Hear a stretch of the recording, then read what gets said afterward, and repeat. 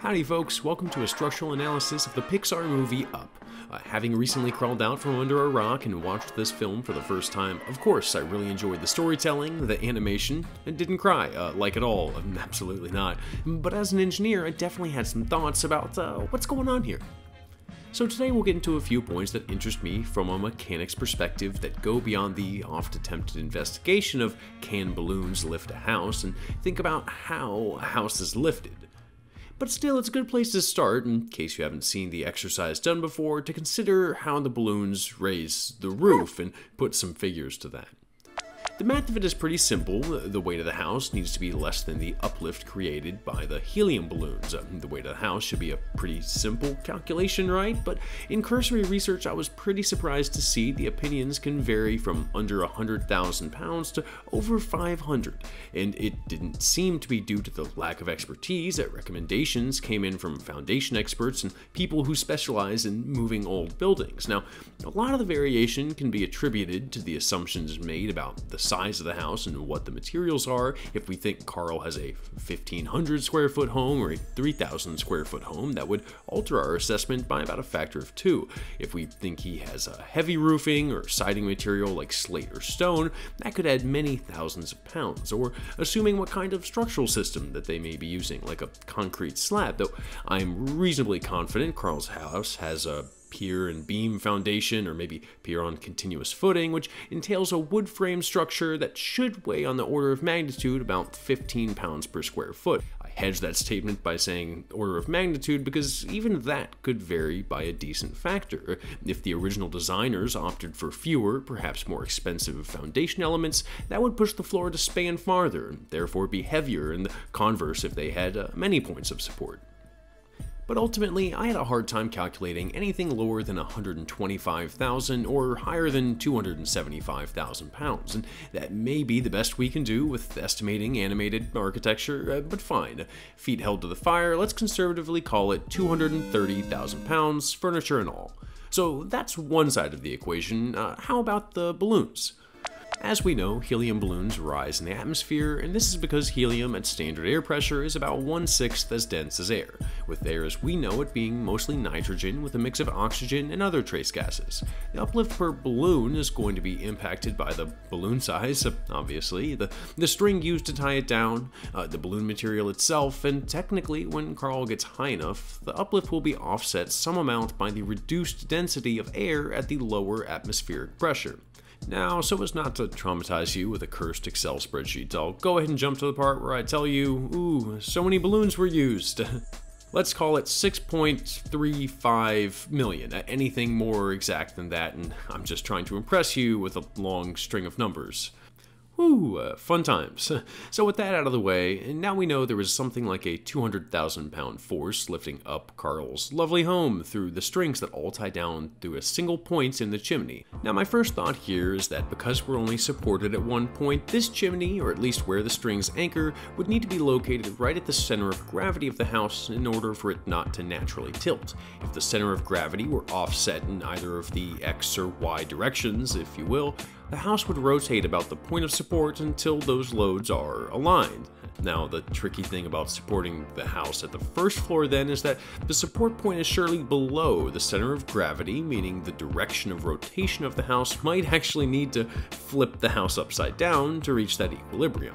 And when we look at the up house from the exterior, the chimney appears to be nearly center justified in the left-right directions and seems centered back to front, but there is certainly more house on the right side, uh, more siding and at least 50% more roof. This indicates to me that we would end up unbalanced unless of course Carl had taken the precaution to balance out by pushing furniture to the opposite side of the house. or maybe the base of the chimney isn't aligned with the top, and there's decent reason for making this guess.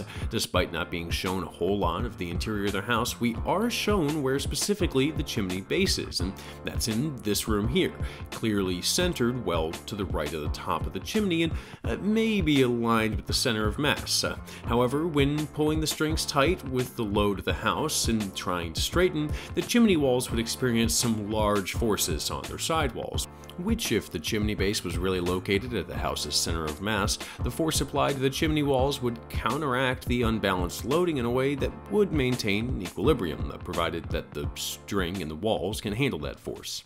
And uh, boy, does this resemble the principles of pre-stressed concrete, which I am itching to dive into for a video, but this is probably not the A1 example, so I'll leave you with that ever-enticing teaser for more engineering content for you to want more of. Uh, Anyways, uh, besides, I'm a little distracted by what the strings are anchored to. Uh, I think it's this uh, wood rack. I, I, mean, this is the chimney, but that raises more questions than it answers. If that's the case, we need the entire weight of the house to hang from this wood rack with, what, uh, a couple of screws on each end? Uh, even still, if we make the assumption that Carl had one of those industrial strength embedded in the floor system type of wood racks, just go with me here, I think there's some meat on this bone, we'd end up with a case that the floor structure would need to support the weight of the whole house with a loading configuration something like this.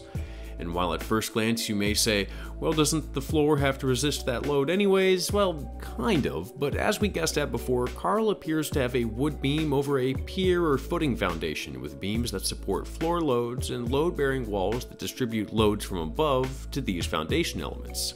The floor and beam system, as it turns out, uh, isn't that strong. The difference of having multiple supports spaced every 5 to 10 feet versus having a single support in the middle of the house would place demands up to 50 times higher on the floors, and even though many old structures were designed with higher factors of safety or higher assumed loads, they're certainly not that high. However, the floor and beam system wouldn't necessarily be the only load path for supporting the uphouse from a single point. In a similar way that the walls connect structurally through load bearing, depending on the construction methods, walls could act compositely with the floors to vastly increase the strength. But the engineering design for these goes well beyond what a typical building would require, and without running numbers, not even sure this could be done with conventional materials.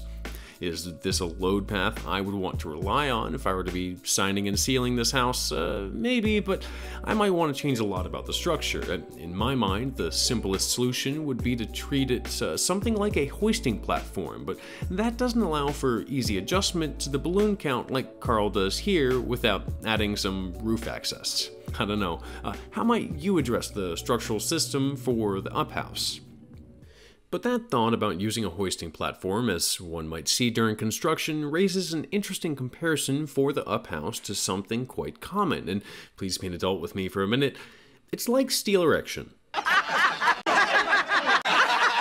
hey man, look, I, I, don't make up the terms. Uh, civil engineering has been around since before people had senses of, of humor, I guess. But the parallel I'm trying to draw is that often when working with a structural system that's already been fabricated, there are multiple conditions that need to be accounted for if you need to pick it up. So, like with steel, the designs are often so optimized that when being hoisted into place, it isn't being braced by the floor or deck like it would be in its final condition and is much more prone to buckling as a result. This concept also applies to tilt up and precast construction. Maybe I should have led with that example, but uh, for these cases, concrete members are hoisted into place from cast and anchorage points and can be subjected to significantly different loads and structural demands than they might experience in their permanent location and would need to be designed for that. In the same way that I hope Carl consulted with his local engineer prior to setting for the skies.